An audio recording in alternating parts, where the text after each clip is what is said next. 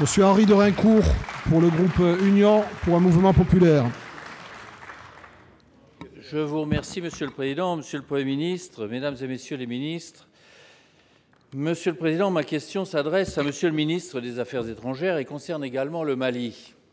Je sais que Monsieur Fabius n'est pas parce qu'en ce moment même, il est en train d'accueillir, à l'occasion de ce retour sur le, sol national, notre compatriote, Madame Florence Cassé. Et comme chacun ici, je mesure les sentiments qu'elle doit éprouver en cet instant où elle retrouve la mère patrie et tous nous sommes heureux, très heureux, de voir que ces années de souffrance et de martyrs, aujourd'hui, sont derrière elle. Et donc, il est tout à fait normal que le ministre des Affaires étrangères soit à l'aéroport pour l'accueillir. Alors, ma question s'adresse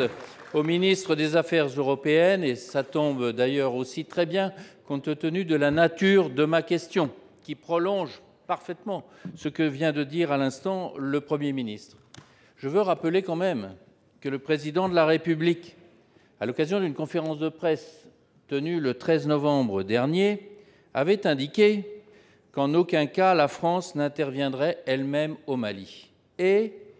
devant la tournure des événements, comme cela vient d'être rappelé, à l'appel des autorités, fussent-elles provisoires, de ce pays, dans le respect absolu des décisions du Conseil de sécurité, le Président de la République a pris la sage et responsable décision d'engager la France directement dans la lutte contre le terrorisme le 11 janvier. Vous savez que nous avons approuvé cette décision du Président de la République.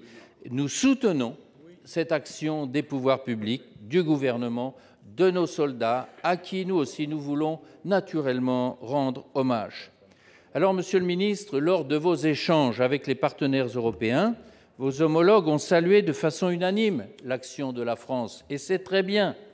Lorsque j'entends Mme Ashton dire l'Union européenne va jouer un rôle clé et actif dans les semaines à venir, c'est positif, mais nous voudrions des choses concrètes qui aillent, excusez-moi, Monsieur le Premier ministre, un peu au-delà des actions de formation dans lesquelles l'Europe est engagée. L'Europe a élaboré la stratégie pour le Sahel, pour le développement du Sahel, et nous avons un immense besoin dans cette bataille très difficile à livrer contre le terrorisme de l'Europe, de l'Union européenne, non pas pays par pays, mais globalement. Alors, Monsieur le Premier ministre, Monsieur le ministre des Affaires européennes, pouvez-vous nous dire aujourd'hui quels sont les efforts qui sont engagés par le gouvernement français et quelles sont les perspectives en matière d'affirmation de la présence de l'Union européenne d'une manière claire et précise dans la lutte contre le terrorisme?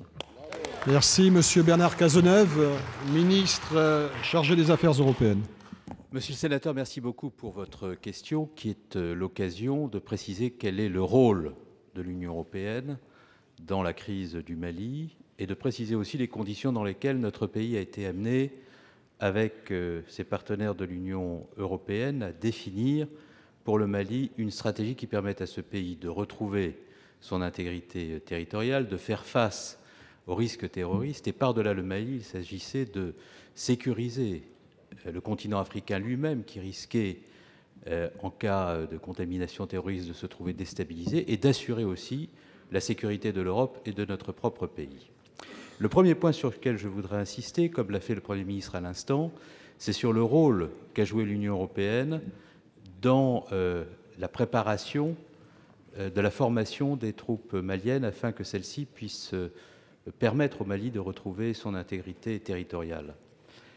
Vous avez eu raison d'insister, monsieur le sénateur, sur le fait que l'ensemble des événements qui se sont produits au Mali sont intervenus dans le strict cadre de la légalité internationale. Et ce fut d'ailleurs là la première action euh, concrète de l'Union européenne. Il n'y aurait pas eu la prise des résolutions 2056, 2071, 2085, qui ont défini le cadre légal dans lequel nous sommes intervenus s'il n'y avait pas eu de la part de l'Union européenne au sein des Nations unies une intervention conjointe, convergente de tous ces pays qui permettait la définition de ce cadre international. Deuxièmement, nous avons souhaité que tous les pays de l'Union européenne puissent euh, définir ensemble les modalités d'une formation des troupes euh, maliennes, de l'armée malienne, pour permettre à celles-ci d'assurer la sécurité sur le territoire du Mali et pour permettre aussi, comme l'a indiqué euh, Monsieur le Premier ministre, à la MISMA de pouvoir, euh, avec des troupes en nombre, assurer euh, durablement la sécurité du Mali. C'est la raison pour laquelle nous avons, avec les pays de l'Union européenne, à travers la mise en place d'un dispositif de formation intitulé IUTM, décidé de mobiliser près de 500 militaires venus de toute l'Europe pour assurer la formation. Et par ailleurs, nous avons également indiqué que nous étions à la disposition de la CDAO pour assurer, aux côtés de la MISMA, toute mission qui permettait cette formation. Si, au moment où les terroristes ont décidé euh, de faire mouvement,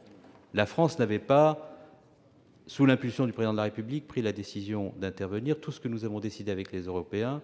ne serait pas possible aujourd'hui. Le Mali serait tombé entre les mains des terroristes et aujourd'hui, la situation serait celle d'une déstabilisation majeure. Et nous avons par conséquent continué à travailler avec les Européens, qui, contrairement à ce que nous avons pu entendre à certains moments, ont mobilisé des moyens à nos côtés, moyens aériens pour assurer du transport de troupes et en nombre, moyens sanitaires pour venir en assistance, moyens euh, humanitaires qui seront bien nécessaires sur le terrain. Et par ailleurs, nous réunissons la conférence des donateurs à Abidjan, euh, à Addis Abeba le 29, pour mobiliser des moyens financiers qui permettront d'aller au bout de cette opération. Nous sommes donc dans une action européenne où la France joue un rôle de précurseur pour établir l'intégrité territoriale du Mali et assurer la sécurité du Sahel face aux risques terroristes.